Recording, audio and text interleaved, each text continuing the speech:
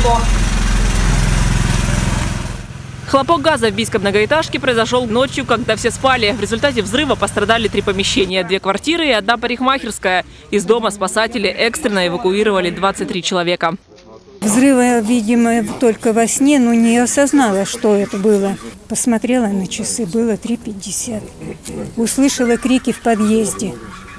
Заглянула в подъезд, через глазок не видно ничего. Дверь открыла, дым стоит. Не обошлось и без пострадавших. Госпитализировали хозяина квартиры, где взорвался газ, а также женщину, которая жила по соседству. Сейчас ее здоровью ничего не угрожает. А вот 55-летний пострадавший находится в крайне тяжелом состоянии. У него ожоги 90% поверхности тела. Пациент в реанимации. Проводится инфузионная терапия, антибактериальная терапия, перевязки делаются.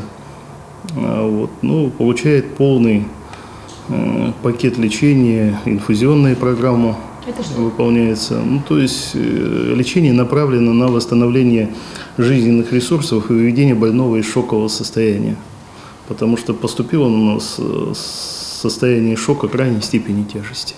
Кстати, жильцы уже начали возвращаться в свои квартиры. Эксперты признали дом безопасным для проживания. А между тем, Следственный комитет края проводит проверку по факту взрыва. А предварительной версией называет утечка газа.